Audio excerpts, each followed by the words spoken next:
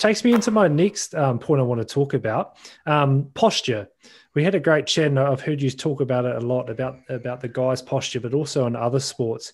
And I heard you explain about swimmers on the side of a pool, how um, being tall and trying to sort of um, peacock and parade around and look like an athlete actually isn't that great for uh, breathing. Can you talk a little bit yeah, about yeah. that? Yeah, yeah, yeah. So, um, so again, if you kind of come back to that water bottle analogy, right, that I was saying before, is if you're already, uh, you know, already the, yeah, breathing up here before you do anything, you've you've got nowhere to go. Like you've really shortened your ability to to, you know, this is called your exercise reserve capacity, meant to be reserved for exercise, not used sitting in a chair having conversation, right? Certainly not used pool deck certainly shouldn't be being used sitting on the bench waiting to run onto the field, for example, right?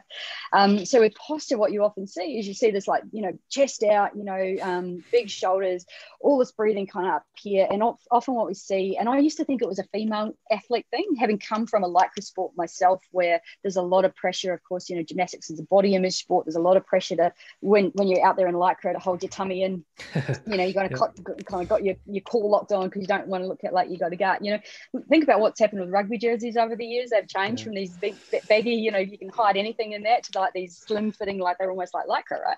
Even just at the, the gym for general public walking around trying to, you know, intimidate. Uh, and, yeah, exactly it's amazing, right? And mm. so it's amazing how people kind of like want to, you know, suck in their stomach just to hold in their gut. And it almost gets, especially in contact sports, right, where you're bracing for impact a lot of the time, yeah. you get quite used to having your core locked on all the time. Now, when your core is locked on around your lower part of your rib cage, if you try it now, if you try and if you put your hands on your lower rib cage, and your listeners at home can, can actually do this as they do it, but if you put your hands on your lower rib cage and you just try to breathe normally through your nose and feel the air come down into the bottom part of your lungs, you should be able to feel that move a little bit. Okay. Yep, so that's kind of op- optimal diaphragmatic breathing down down there. Okay. Now, if you then tighten your abdominals like as hard as you can, like brace them and keep yep. them braced and try to get that same movement, you can't do it, right? Yeah, that's right. Yeah.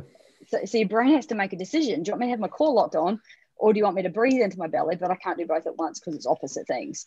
And so it's part of almost this um, human hard coding, right? Is that whenever we feel like we're under threat or pressure, we like to make ourselves look bigger. And you look at what happens to any mammal in nature, you know, comes up on its back feet, it kind of, you know, puffs up its chest, it wants to look intimidating and threatening. Um, and, and humans are no different. And particularly when you've got a sport where you've got a whole lot of alpha males kind of, you know, around, and, and swimming is a classic as well as football, right? Is that you see this kind of upper chest, you know, this big breathing and all of this sort of stuff happening. And it actually means that you're already like heart rate's up and, and breathing's hard and fast before you actually get into into game time or, or go time for for our swimmers um, and they're already you know their state everything's kind of ramped up before they actually get into the go moment. What we actually want to try and do is go how do we actually keep that under control? So you've got you've got that big thing to go into when you're really needing it really really, really needing to go